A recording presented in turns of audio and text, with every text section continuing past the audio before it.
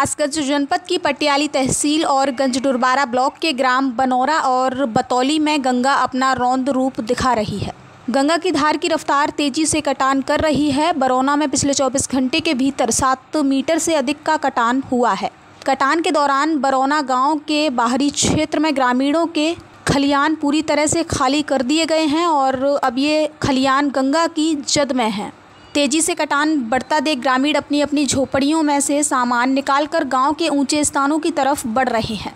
गौरतलब है कि जिलाधिकारी हर्षिता माथुर ने बीते शनिवार बरौना और बतौली का निरीक्षण किया था। गंगा का कटान देख सिंचाई विभाग ने भी इस कटान को रोकने का प्रयास किया, लेकिन सिंचाई विभाग के अधिकारियों द्वारा पाइपलाइन लगाकर कटान रोकने की कोशिश की गई लेकिन ये उपाय भी गंगा के तेज बहाव में बह गया। बरौना के प्रधान प्रतिनिधि मुकेश की माने तो सिंचाई विभाग ने समय रहते अपनी गंभीरता नहीं दिखाई, जिसके चलते गंगा का जलस्तर में हुई वृद्धि और धार की तेज रफ्तार ने उनके गाँव को अपनी चपेट में लिया है।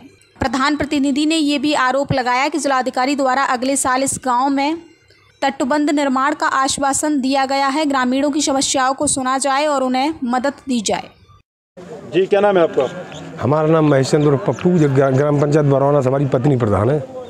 जी प्रधान जी जो आपके गाँव में जो गंगा नदी का जो कटान हो रहा है जी जी जी। क्या दिक्कत समस्याएँ आ रही हैं आपके यहाँ गाँव के लोगों को? दिक्कत समस्या जा रही ज़मीन तो पूरी कटी हज़ार पंद्रह सौ अब गाँव पलायन करने लगी तैयार है। प्रशासन जो मदद कर रहा है उससे हमें कोई राहत नहीं मिल रही है। बाँध वगैरह की जब तक व्यवस्था नहीं होगी तब तक तो कुछ नहीं हो पाएगा। तो हम शासन से चाहते हैं हमारी मदद करिए बाँध हमारे यहाँ बनवा दिया जाए जिससे गाँव सुरक्षित बच सके। जैसे कि कल जिला कासगंज जिलाधिकारी ने कल गाँव का दौरा भी किया हाँ, था क्या। आश्वासन देकर गई मैं आश्वासन ये देकर गई कि सिंचाई विभाग जो है जो प्रभुमान वगैरह जो पढ़ रहे अब तो यही पढ़ पाएँगे और दो तीन महीना बाद जब बाढ़ खत्म हो जाएगी उसके बाद आपकी बाँध की व्यवस्था करते जगह जैसे हमने अभी यहाँ गाँव में देखा जी। आ, कुछ लोग जो झोपड़ी में रह रहे हैं जी जी। तो अपना वो सामान निकाल रहे हैं। हाँ। तो इनके लिए क्या इंतज़ाम है आपके तरफ़ से या जिला प्रशासन की तरफ़ से कोई इंतज़ाम किए गए हैं? इनको कहीं सुरक्षित स्थान पर रुकने जिला प्रशासन की तरफ़ से कोई हमारे जो इंतज़ाम जब जहाँ प्लान करेंगे तो स्कूल वगैरह बिन जगह पर रोके जाएँगे और कोई व्यवस्था ना है। तो अब आप क्या मांग चाहते हैं अपनी क्या मांग है? हम ये चाहते हैं जो लोग प्लान करें कमरा वगैरह जो चीज़ें सब चीज़ मिलना चाहिए